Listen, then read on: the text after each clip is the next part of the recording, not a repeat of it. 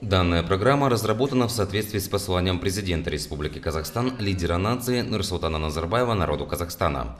Целью программы является содействие продуктивной занятости населения и вовлечение граждан в предпринимательство. Для реализации разработан план мероприятий, состоящий из трех направлений, содержащий определенные задачи.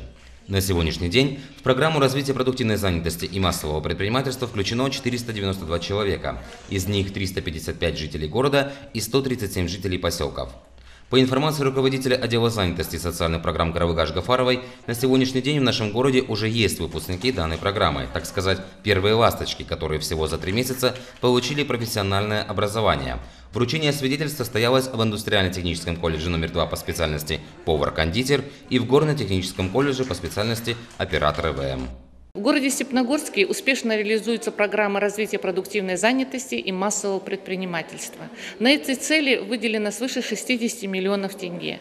В рамках первого направления можно получить бесплатное профессионально-техническое образование в течение 10 месяцев и пройти краткосрочные курсы обучения.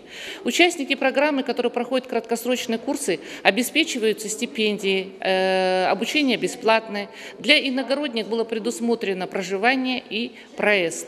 Э, в текущем году планируется э, увеличить количество лиц, которые будут проходить э, краткосрочные курсы, до 400 человек. Всех желающих и всех тех, кто не имеет профессионально-технического образования, просим обращаться в Центр занятости и стать участником программы.